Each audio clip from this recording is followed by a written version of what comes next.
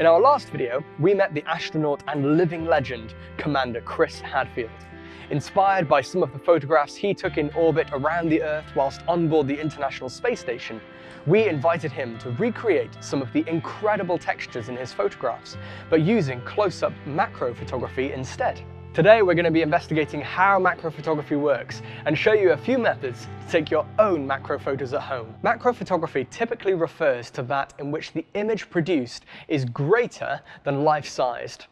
Now, a camera lens like this one actually contains a few different lenses inside it. As you adjust the distance between the lens and the subject, the image comes into focus.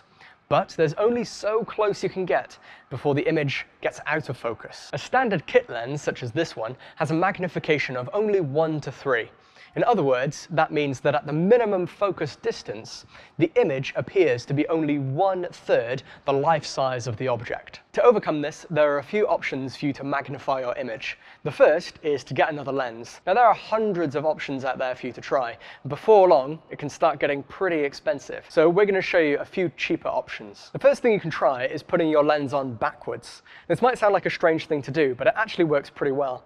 Because normally a lens allows you to focus on a big object that's far away and make it look much smaller. By turning the lens around, you can do the opposite. So you're able to look at a small object that's up close and make it appear much bigger. So all you need is a reverse lens adapter, which goes between your camera and the filter thread of your lens. Alternatively, you can move the lens further away from the camera's sensor. Now doing this allows you to get an object much closer to the lens and still have it in focus. So we can do that using this series of barrel extenders.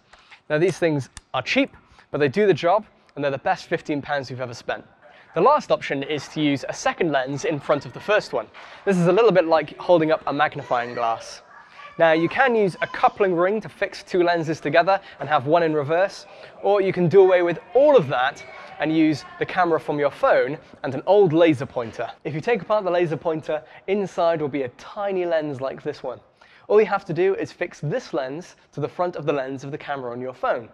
To do this, we've used a ring of plasticine, and voila, it's as simple as that. The image is magnified and we can take some macro photos. Try this for yourself at home and see how different the world looks up close. And if you'd like to see our macro recreations of photos from space, check out our interview with Commander Chris Hadfield, or watch our beginner's guide to astrophotography. And for more science every week, click subscribe. Thanks for watching.